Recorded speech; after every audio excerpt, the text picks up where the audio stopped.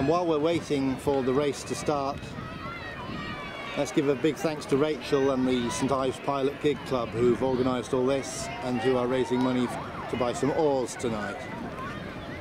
I'm sure you'll all agree it's going to be an awesome night.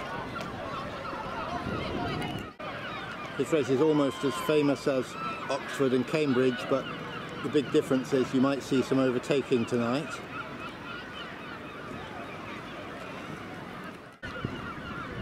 Here in St Ives we take health and safety extremely seriously, so all these fine craft have been awarded a certificate of seaworthiness from the Harbour Master. And for extra safety we've got the fire brigade in tonight, so that's nice.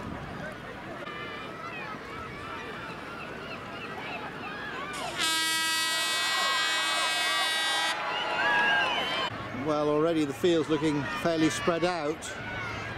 Last year's winners looking ominously strong there.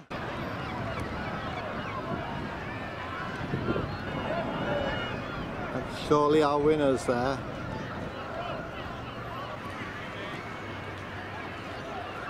Fire Brigade coming under pressure there from the Brides of Dracula, or whatever they're called.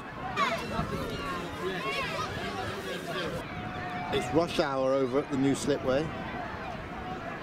Plenty of flour bombs being thrown. The fire brigade have been overtaken.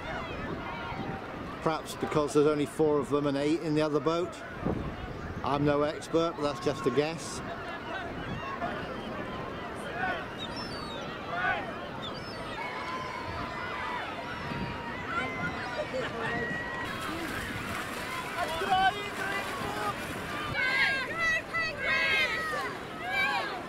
Why are you all shouting different numbers?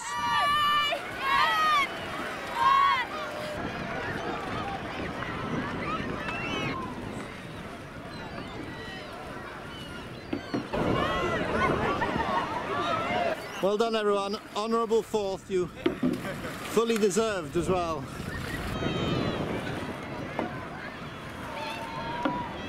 Interesting tactics from this next lot, they seem to be weaving around the harbour boats, but that doesn't look like a shortcut to me.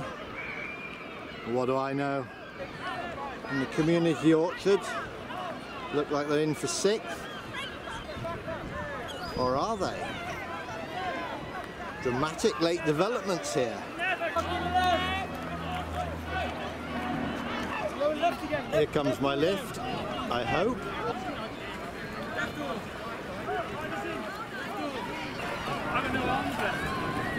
Half a paddle.